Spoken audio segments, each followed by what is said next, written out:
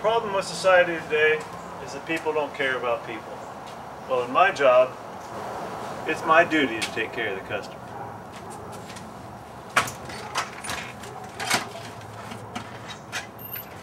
I've taken the postal creed. neither rain nor heat.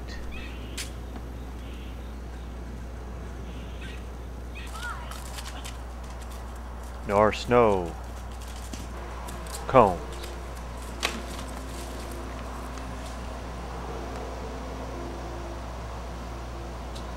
Nor dogs.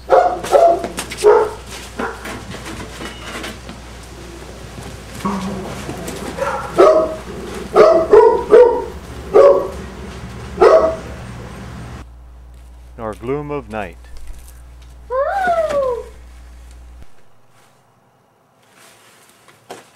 Even the flu can keep this carrier from his appointed rounds.